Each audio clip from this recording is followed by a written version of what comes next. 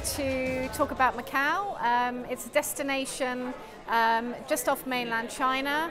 It's a special administrative region of China and it's about 40 miles away from Hong Kong. It is reached by either flying into Macau's international airport or you can fly into Hong Kong airport and that's the route that most UK and Irish passengers take into the destination and then they take the fast ferry service which is one hour from Hong Kong either the international airport or downtown over to Macau.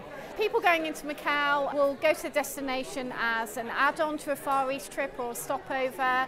They'll stay approximately two to three nights and they will go there to explore the culture. It's got a rich Portuguese heritage. They'll go there and take in the attractions such as the Macau Tower and the Macau Giant Panda Pavilion.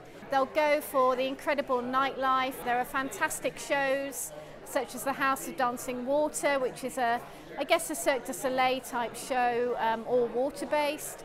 Here you'll find the best Portuguese restaurants outside of Portugal, amazing Chinese cuisine and Macanese cuisine, which is the world's first fusion food. Um, we kickstart the, the new year um, a little bit later than ours um, in February into the Chinese New Year, um, and the calendar of amazing events continues from that point.